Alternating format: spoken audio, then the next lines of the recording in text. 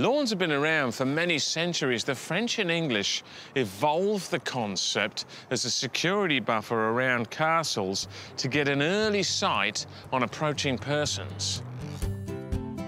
Later, lawns were adopted by the wealthy as part of their gardens.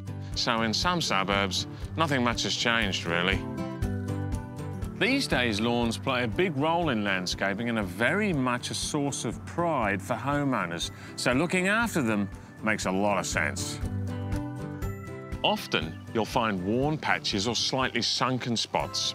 If compacted, use a fork or aerator first and then spread a top dressing mix. Rich in organic matter to improve soil health, fertility and drainage, Seasol Lawn Top Dresser will add nutrients and level the surface for the grass to grow into.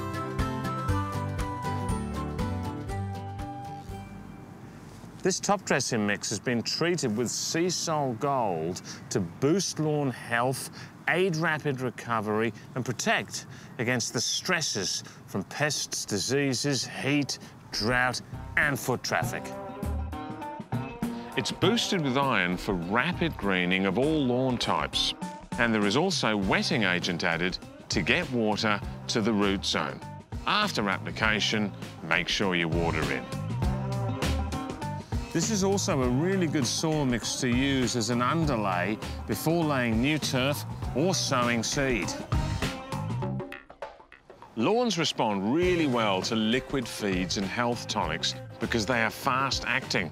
A weekly dose of Seasol Lawn and Turf Starter for the first six weeks will help reduce transplant shock, promote strong root development and healthy growth.